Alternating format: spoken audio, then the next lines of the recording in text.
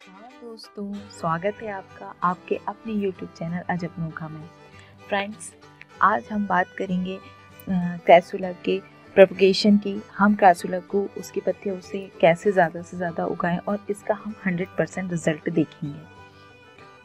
Friends जैसे कि कहा जाता है क्रासुला एक धन वर्षा वाला पौधा है, धन को आकर्षित करने वाला पौधा है। तो फ्रेंड्स इसलिए से लोग लगाते हैं घर में धन की वृद्धि के लिए। पर मेरा मानना यह है कि हर पौधे की अपनी एक पॉजिटिव एनर्जी होती है। जो पौधा आपको सुकून दे फ्लावर दे, जो आपके मन को भाई वो पौधा अच्छा है। तो फ्रेंड्स फिर भी आपको ये ट्राई करना चाहिए, अपने घर में से लगाना चाहिए। आप यदि इसे लगाया होगा या आपने इसका कभी प्राइस पूछा होगा तो आप देख पा रहे होंगे कि ये काफ़ी कॉस्टली आता है। आप छोटा पौधा भी लेने जाएँगे तो भी उसकी कीमत लगभग आपको 250 से 300 रुपए देखने को मिल जाएगी ऑनलाइन भी। ये इसी रेंज में आपको मिलेंगे।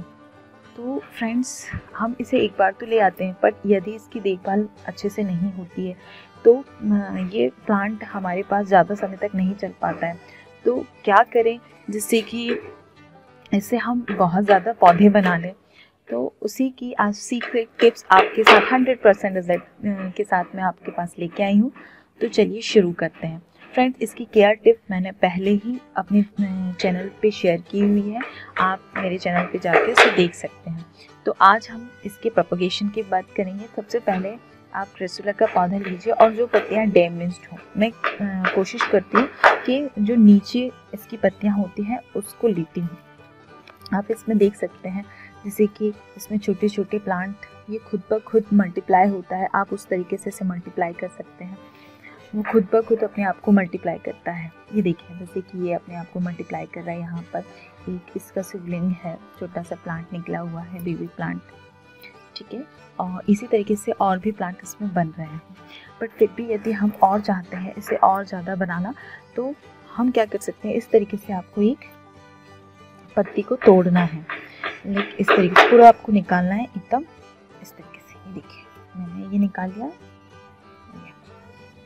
ठीक है? तो मैं इसे निकाल लिया अब निकाल के करना क्या है? मैं अभी इसे साइड रख देती हूँ। अब इसके लिए हम साइड तैयार करेंगे जिससे कि इसका प्रोपोगेशन किया जा सके। तो मैं, आ, ये मैंने खाली कंटेनर लिया हुआ है। जो मेरे पास पड़ा हुआ था, मैंने वो कंटेनर ले लिया है। अब मैंने इसमें किस तरीके का मिक्सचर बनाया हुआ है? मैंने इसमें सॉइल ली हुई है कंपोस्ट लिया हुआ है और सैंड ली हुई है। मतलब मैंने जो नॉर्मल गार्डन सॉइल होती है, वो लिया हुआ है कंपोस्ट और सैंड ये इन तीनों को बराबर मात्रा में मैंने मिला लिया। आप चाहें तो कंपोस्ट और सैंड को बराबर मात्रा में मिला मिला लीजिए, उससे भी आपको बढ़िया रिज़ल्ट देखने को मिलेगा। तो हमने इस तरीके से उसे बना लिया है और अब हम इस तरीके से इक्वल सरफेस करके इसे रख देंगे और थोड़ा सा दबा देंगे। हल्का सा प्लेस करना आपको, ताकि इसका जो नीचे वाला एरिया हो, वो मिट्टी के कनेक्शन में हो। ये देखिए हमको उसको गाढ़ना नहीं है, अंदर इसको लगाना नहीं, बस हमें इसी तरीके से लगा के छोड़ देना है। और इसके बाद हमें इसको डेली स्प्रे वाटर की हेल्प से वाटरिंग करनी है। ये देखिए, बस इस तरीके से हम हल्का हल्का इसको वाटरिंग करेंगे और इसके बाद हम इसे रैप करके रखेंगे। आप किसी भी पॉलीथीन नॉर्मल पॉलीथीन से इसे रैप करके रख सकते हैं। जैसे कि मेरे पास अभी ये वाली पॉलीथीन अवेलेबल है तो मैंने इसको इस तरीके से रैप कर दिया। ये देखिए, हम इसे इस तरीके से रैप करके रख देंगे। अब हम इसे डायरेक्ट सनलाइट में नहीं रखना है। हम इसे ऐसी जगह रखेंगे जहाँ पर लाइट आए पर बहुत, इस पर डायरेक्ट ना पड़े। मतलब मैं अपने गार्डन में इसे छाँव में रखूँगी, जैसे मैं इसके नीचे रख दूँगी हमारे जो दूसरे गमले हैं उसके नीचे तो हम इसे रखते हैं। और फिर इसके बाद आपको डेली से निकालना है स्प्रे बॉटल से स्प्रे करना है वाटर का, और इसके बाद वापस से पॉलीथीन में डाल के से रखते हैं। कुछ ही दिन में आप देखेंगे कि इसकी रूट्स निकल रही हैं और यहाँ से आपको लगभग दो से तीन पौधे यहाँ पर देखने को मिलेंगे। क्योंकि मैंने आपसे कहा है कि मैं आपको हंड्रेड परसेंट रिज़ल्ट दिखाऊँगी तो चलिए। ये देखिए फ्रेंड्स मैंने पहले ऐसे नॉर्मल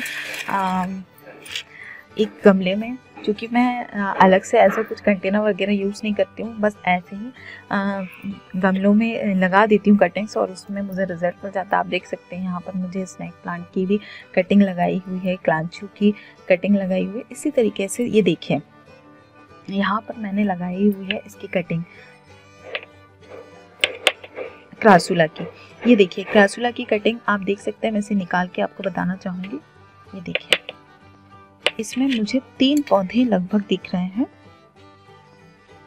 इसे मैं आराम से निकालूँगी ताकि मेरे पौधे ख़राब ना हो और आपको इसका रिज़ल्ट मैं दिखा सकूँ। ये देखिए। जी हाँ बिल्कुल सही हूँ मैं। इसमें तीन पौधे मुझे देखने को मिले हैं। इसमें रूट्स बहुत बढ़िया आई है। ये देखिए, आप रूट्स देख सकते हैं। ये मिट्टी भी उठा ये देखिए।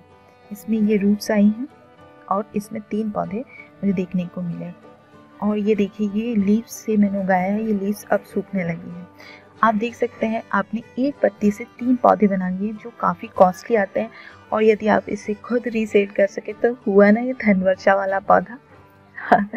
चलिए तो चूँकि ये लगे पौधा है तो आपको इसे ज़रूर प्रोपोगेट करके देखना चाहिए, इसमें बहुत कम मेहनत लगती है। आपने देखा बस कुछ भी नहीं करना है। आपको इसे नॉर्मल जो मैंने आपको सॉइल मिक्सचर बताया आप उसमें डालिए नॉर्मल स्प्रे कीजिए और आप बहुत जल्दी इतने प्यारे प्यारे प्लांट देख सकते हैं। और फ्रेंड्स इसको इसे उगाने में इतनी खुशी होती है ना क्योंकि जब हम खुद हाथ से कोई चीज़ उगाते हैं तो उसकी बात ही कुछ और होती है। तो यदि आपको ये वीडियो पसंद आया हो तो प्लीज़ मेरे चैनल को सब्सक्राइब कीजिएगा लाइक कीजिएगा और कमेंट करके बताइएगा कि आपको ये इन्फॉर्मेशन कैसी लगी। शेयर कीजिएगा दोस्त, दोस्तों के साथ। और थैंक यू फॉर वॉचिंग